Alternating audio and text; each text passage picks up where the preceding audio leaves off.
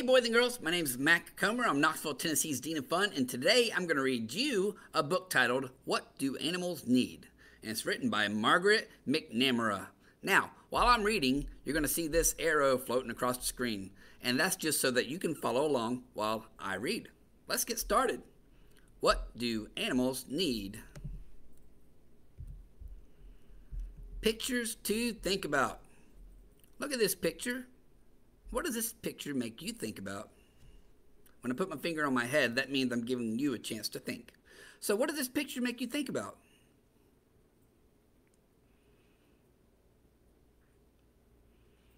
Well, this picture makes me think about a giraffe who is maybe very thirsty. Why? Because, well, the giraffe is drinking out of a little tiny pond.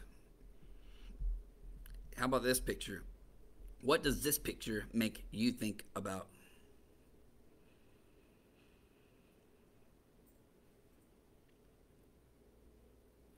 This picture makes me think about speed because it looks like this animal is running super fast. Maybe hunting. What does this picture make you think about?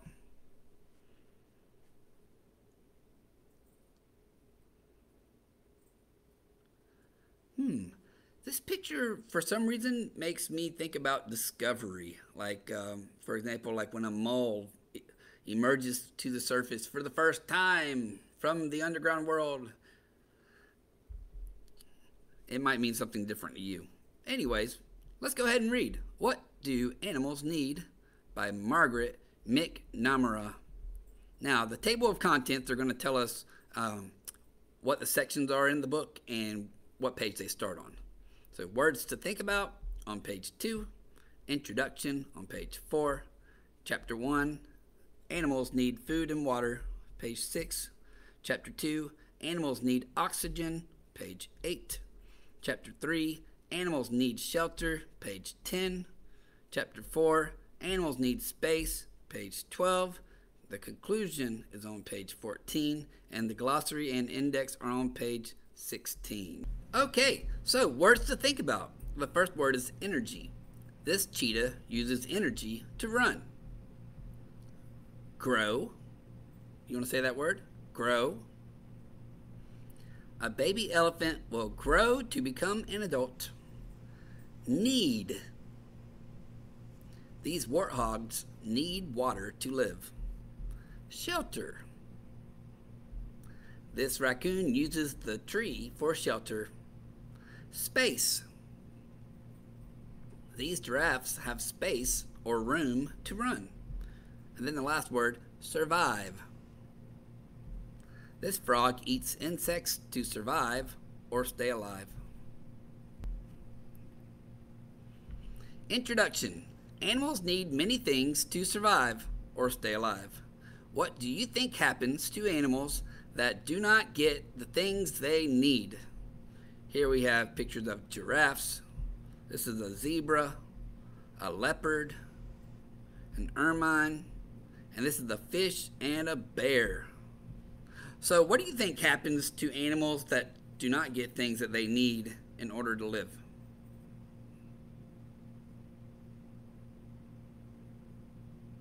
You know what? I'm not going to answer that question because I bet you we can find the answer in this book.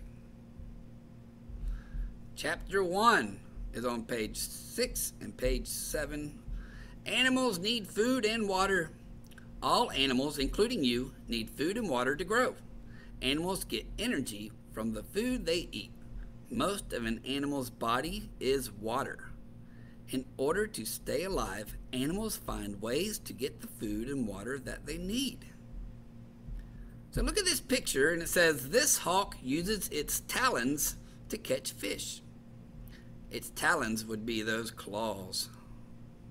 They're super sharp. This picture says this tiger uses its sharp teeth to get food.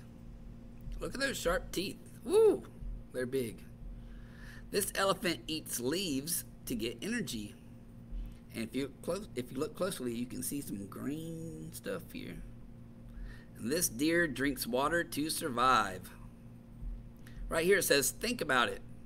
Herbivores are animals that eat plants. Carnivores are animals that eat other animals. Omnivores eat both plants and animals. Are you an herbivore, carnivore, or omnivore?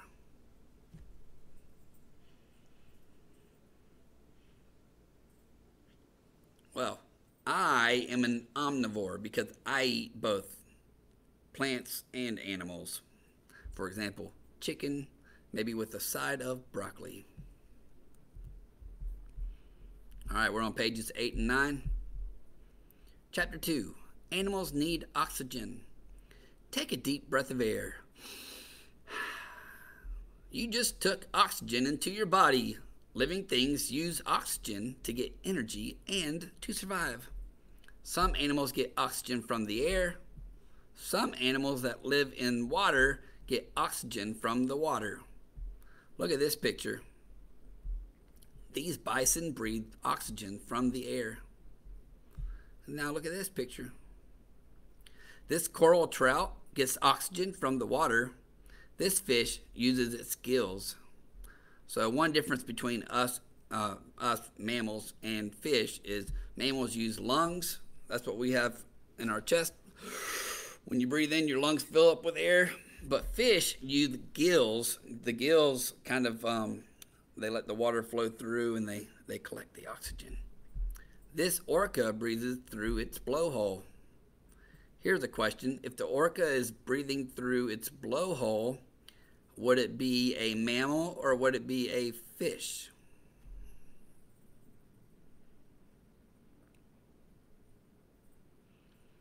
Well, you know, it's funny.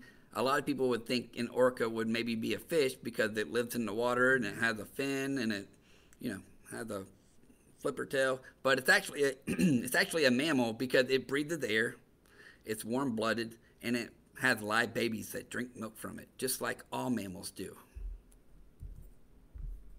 Chapter 3 Animals need shelter. Animals need shelter just like you do. Some animals find shelter, other animals build shelter. A shelter is a safe place for an animal to live. If the weather is too hot or cold, then animals can protect themselves in their shelters. Kind of like me and you. If it's cold outside, we might stay in the house. But if it's really hot outside, we might actually stay in the house too if we have air conditioning. This ground agama uses an underground shelter for protection this raccoon finds shelter in a tree. This robin used sticks, mud, and grass to build a nest. And this clownfish finds shelter in an anemone. Cause and effect. Look at the word if. This is the word that helps us understand the cause. What word helps us understand the effect? So here we go. If the weather is too hot or cold, then animals can protect themselves in their shelters. So if helps us understand the cause, the word then helps us understand the effect. So if this happens, then this happens. Chapter 4 Animals need space. Animals need space or room in which to move around. If animals do not have space, then they might not find enough food and water. Animals protect their space. What do you do when someone gets too close to you? How can animals find the space they need? And look at this picture. These wild horses like to run. They need a lot of open space. If they were kept in a small little pen, they wouldn't be healthy because they need a lot of room to run in order to be healthy and have strong muscles. Right here, ants need space too. Ants find space in the soil. So you won't see, like, ants, they dig their own little tunnels and stuff, but they do that so they can have their own space.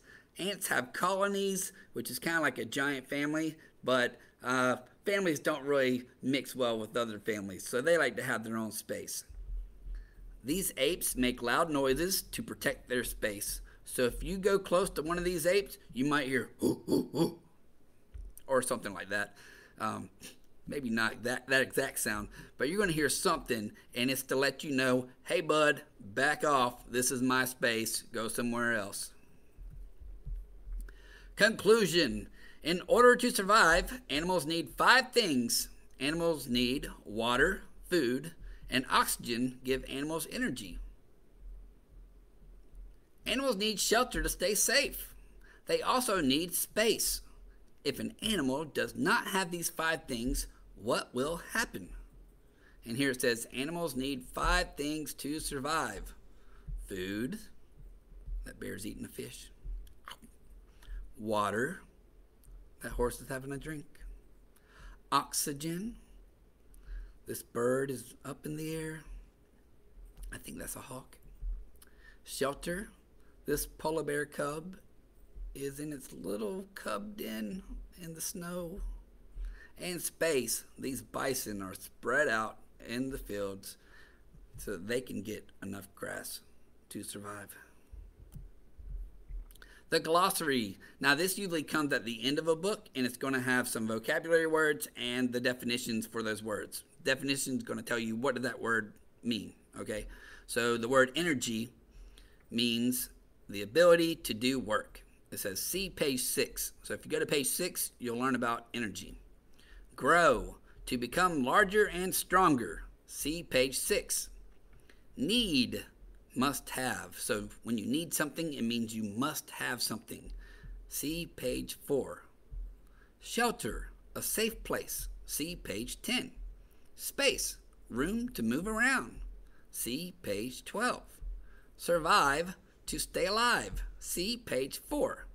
Underneath this glossary is the index. The index is also going to have important words that come up in the book. It's not going to tell you the definition, but it is going to tell you the page number that you can find out more information about that word or topic. For example, animals, you'll find that on pages 4, 6, and 9. Energy can be found on pages 6, 8, and 14. Food can be found on pages 6, 12, and 14. Grow can be found on page 6, um, if you want to find out about need, you can look on pages 4, 6, 10, and 12. Shelter on pages 10 and 15. Space on pages 12 and 15. Survive on pages 4, 8, and 14. And water on four pages 6, 9, 12, and 14. Okay, so we're done with our book. Let's just read this last page, though. It talks about zoologists.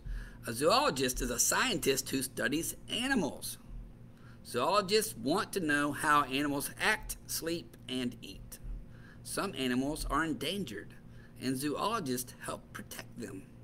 Endangered means that they are um, close to being extinct, and when you are extinct, that means you no longer live on this planet, kind of like the dinosaurs. Zoologists study how animals how animal bodies look and work, and how animals grow and change. Many people study zoology. Veterinarians study zoology. They help keep animals healthy. You might call a veterinarian a vet for short, and that's the place where you might take your dog or cat when they're sick or they need their shots. So, why are zoologists important? Let's think about that for a second.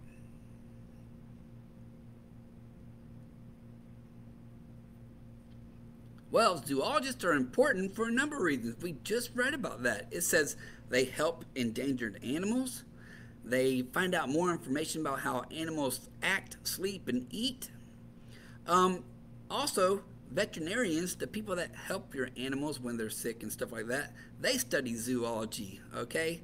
Um, zoologists also study animal bodies and how they look and grow and how they work in general. So, anyways, I hope you guys enjoyed reading this book with me as much as I enjoyed reading it with you. Until next time, I'll see you later. Bye bye.